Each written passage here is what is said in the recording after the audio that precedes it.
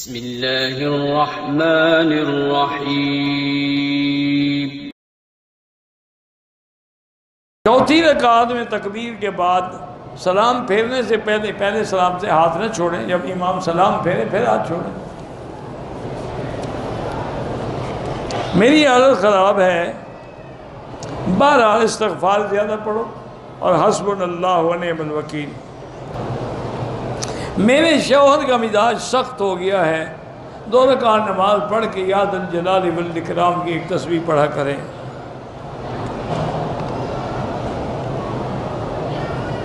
यहाँ पर जो इमाम वितर पढ़ाते हैं, पढ़ सकते हैं, वो भी तीन रकात पढ़ते हैं, अल्लाह के बंदे। एक रकात नहीं पढ़, दो पढ़ के सलाम फेर दें, फिर खड़े हो जाते यानी वो फ़सल करते हैं, हम फ़सल करते हैं, पढ़ते तो हम भी तीन हैं, वो भी तीन हैं। कोई हाल नहीं, पढ़ लिया करें। लिकोरिया के साथ कपड़ों को लग जाए, नमाज़ हो जाती है, लेकिन कोशिश किया करो कि नमाज़ के लिए अलग कपड़ा रख लो। और फिर पेम्पर वगैरह पहन के वो कपड़े पहन लिए, नमाज़ पढ़ ली, फिर उतार दिया। औरत ने अगर मियाँ बीवी मिले हैं, जनाबत की हालत में है, गसल नहीं किया, बच्चा रोने लग जाए, दूध दे सकती है हाँ दे सकती है। लेकिन अफजल ये है कि कम अज़ कम वज़ू कर लें। शौहर बीवी का हाथ पकड़कर उम्र का तवाफ़ कर सकता है, क्यों नहीं कर सकता? उसकी बीवी है। मस्जिद में नमाज़ जनाजा जायज़ है, बेहतर है कि मस्जिद में न पढ़ी जाए। यहाँ तो मजबूरी है कि पूरा मक्का मस्जिद हराम है तो कहाँ ले जाएँ जनाजा? दूर से जब दरू शरीफ पढ़ा जाता है तो फरिश्ते पहुँचाते हैं। और जब मुआजहा शरीफ में सलाम पढ़ा जाए तो फरमाया, मैं खुद सुनता हूँ।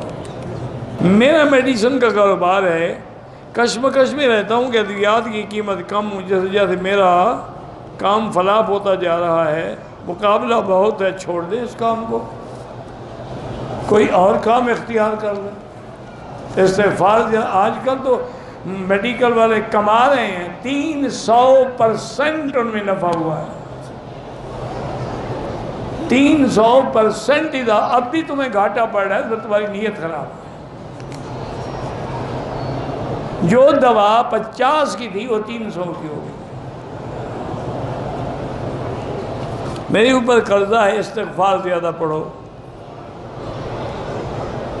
मेरे लिए दुआ करें कि अल्लाह हमें रमज़ान में मक्के लाए। दुआ करो, मक्के तो लाए, मक्के का हरम का रमज़ान की तोफ़ीक भी देकर कर। यहाँ आके भी वही सिगरेटें पीते रहो और बाहर बैठ के गप्पे मारते रहो और टेलीविज़न देखते रहो तो उससे बेहतर है अपने मुल्क में देखो। मैंने मकान बना लिया है, वो से पुराना मकान बिक नहीं रहा। इस्तफार ज़्यादा पड़े अल्लाह मुश्किल हल करेंगे।